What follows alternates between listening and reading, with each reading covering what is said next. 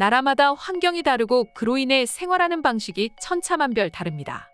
그 때문에 생겨나는 문화적 차이를 눈으로 직접 보기 위해 해외여행을 가고 또 외국인들은 한국으로 여행 오는 것이죠. 특히나 지금 한국은 세계에서 가장 인기 있는 나라라고 해도 과언이 아닐 정도로 수많은 사람들로부터 관심을 한몸에 받고 있습니다. 나아가 외국인들은 한국에 대해 좀 더 자세히 알고 싶어 한국어 공부를 하기까지 하는데요.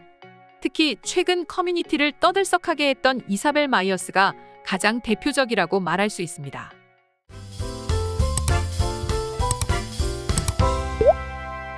이사벨 마이어스는 할리우드 대표 친한파 여배우 중 한 사람인데요.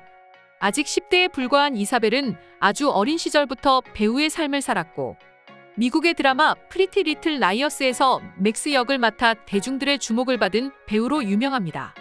그리고 그녀는 한국을 엄청나게 사랑한다는데요.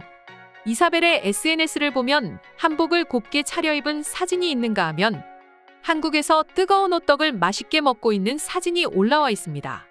그리고 최근 영화 탑건으로 열 번째 내한을 앞둔 톰 크루즈, 우리에게 아이언맨으로 유명한 로버트 다우니 주니어와 안젤리나 졸리 등 수많은 할리우드 스타들이 한국을 좋아하기로 유명하죠. 이처럼 자신들이 좋아하는 할리우드 스타가 한국을 찾을 때면 자연스럽게 한국에 대한 관심이 높아지고 꼭 한번 한국에 여행 가고 싶다는 생각이 들고 또 한국을 한번 찾은 후에는 한국의 여러 가지 문화에 관심을 갖게 되고 나아가 한국에서 공부를 하고 싶고 또 한국에서 일을 하고 싶어 하는 외국인들도 점차 늘게 되었습니다. 그럼 자연스럽게 한국어를 접하게 되는데요. 사실 한국어, 한글은 지난해 영국의 옥스퍼드 사전에 반찬, 불고기, 잡채, 김밥, 갈비, 삼겹살, 케이팝, 한류, 오빠, 언니, 애교, 대박, 만화, 먹방 등 무려 26개 한글이 등재되기도 했을 정도로 이제는 많은 외국인들이 관심을 갖는 언어이기도 한데요. 그리고 외국인들은 영어나 일본어, 중국어와 달리 자음 14자, 모음 10자로 된 고작 24자만 외우면 되기 때문에 한글을 배우는데 어렵지 않을 거라 생각하곤 합니다. 하지만 자신들의 그런 생각이 한국 여행을 왔을 때 얼마나 잘못됐는지 깨닫고는 충격에 휩싸이곤 한다는데요. 물론 외국도 그렇지만 한국만큼 표준어와 사투리, 방언이 다른 국가는 많지 않기 때문입니다.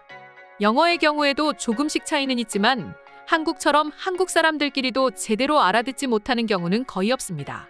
심지어 한국인들의 표현 방식은 외국인들이 생각한 것과 많이 달라 충격받곤 했다는데요. 실제로 외국인들이 정말 놀라는 것 중 하나는 이열치열, 인행치냉이라는 말이라고 합니다. 과거 TV 방송 프로그램 세대공감 1억 퀴즈쇼에서는 우리나라 거주 외국인 1000명 조사 결과 한국의 여름 문화 중 가장 이해할 수 없는 것은 이라는 문제를 출제하였습니다. 이 문제의 정답은 이열치열이었다고 하는데요. 그리고 이 조사에 참여한 52%의 외국인들은 더운 날 설렁탕, 순대국밥 등 뜨거운 탕을 먹는 것을 이해할 수 없는 한국의 문화로 꼽았습니다. 물론 한국인들의 경우에는 뜨거운 여름날 더 뜨거운 탕을 먹고 나면 시원한 기분 못 느끼면 한국인이 아니다. 또 외국인이라면 이해 못할 만하다라는 반응을 보여주었습니다. 이열치열은 열은열로서 다스린다는 것을 이르는 한자성어로서 어떠한 작용에 대해 같은 수단으로 대응한다는 것을 비유한 말입니다.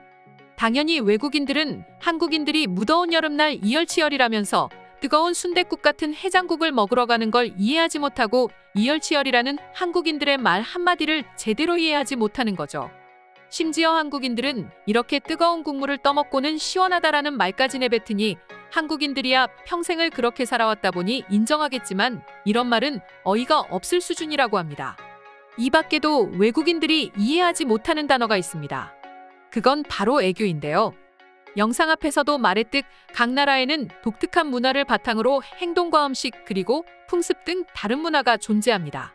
그렇다 보니 이열치열처럼 우리에게는 보편적인 거지만 외국에서는 특이한 문화로 취급되는 사례들이 있습니다. 그게 바로 애교인데요. 애교는 영어로 하면 얼렉티브너스라고 표현할 수 있지만 이 단어는 사실 얼렉티브, 매력, 매력적인, 멋지다라는 단어에 더 가깝다고 할 수 있습니다. 실제로 한 유튜브 채널에서 외국인들에게 본인들의 나라에도 애교라는 개념이 있는지 질문한 영상을 제작했고 대부분의 외국인들의 대답은 no, 없다였습니다. 실제로 다른 나라에서는 한국에서처럼 귀엽다, 애교스럽다라는 말 대신 섹시하거나 귀여운 모습에 그저 매력적이라고 말하는 게 다수였습니다. 뿐만 아니라 실상에서도 외국인들은 한국인들의 애교를 보고 당황하는 모습을 보여주었습니다. 특히 과거 미국 출생의 2PM 멤버 중 한 명인 니쿠는 라디오 방송에서 미국은 애교라는 개념이 없고 이성에게 어필을 할 때에는 섹시함을 보여준다고 말해 화제가 된 적도 있습니다.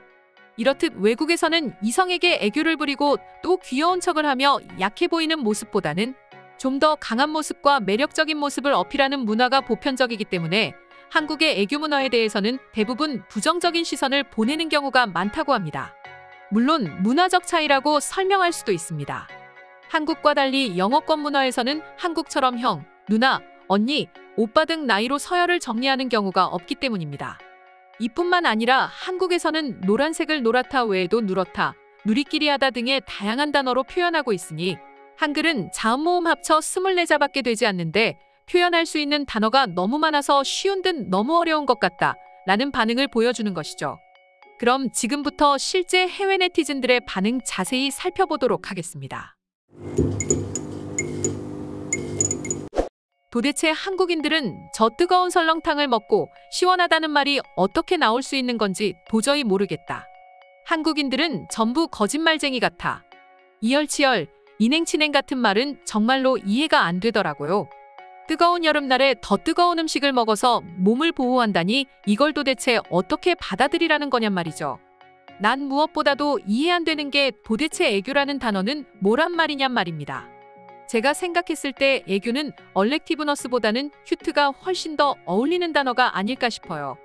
한국인들은 귀여울 때 애교가 많다고 하는 게 대부분이던걸요. 한글을 공부하기 시작했는데 배우면 배울수록 한글은 너무너무 어려운 것 같아.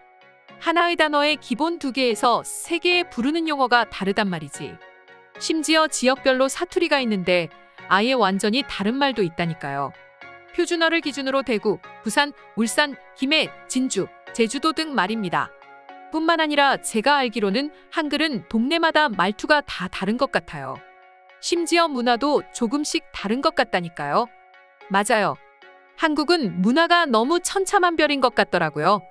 특히 편을 갈라 놀이를 할 때 하는 제스처 또한 지역별로 달라서 한때 골치 아팠던 것 같아요. 심지어 그 때문에 추억에 관한 이야기가 시작됐고 우리는 게임은 시작도 못하고 추억 이야기만 5시간은 한 것 같다니까요. 물론 저는 듣고만 있을 뿐이었죠. 난 유튜브로 종종 한국 여자 아이돌들의 애교를 검색해 보곤 합니다. 너무 귀여워요. 아주 잠시지만 저는 굉장히 행복해질 수 있습니다. 곧 한국을 방문할 예정으로 기본적인 한국어를 공부하고 있습니다. 과연 제가 공부한 한국어가 한국에서 얼마나 통할지 궁금하네요. 하루빨리 한국으로 가고 싶습니다.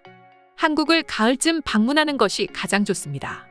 가을에는 한국인들의 감수성이 매우 풍부해지고 또 친절해집니다. 그리고 한국의 진정한 아름다움을 느끼기 위해서도 가을이 가장 적합하거든요. 한국인들과 대화할 때 정말 어려움을 많이 겪습니다. 저도 친구들과 대화를 할 때 한국 친구들의 지역이 다 달라서 생기는 문제가 생긴다니까요. 오늘의 영상은 이것으로 마칠 텐데 영상이 유익하셨다면 구독과 좋아요, 알림 설정 한 번씩 부탁드리겠습니다. 다음 영상으로 찾아오겠습니다. 감사합니다.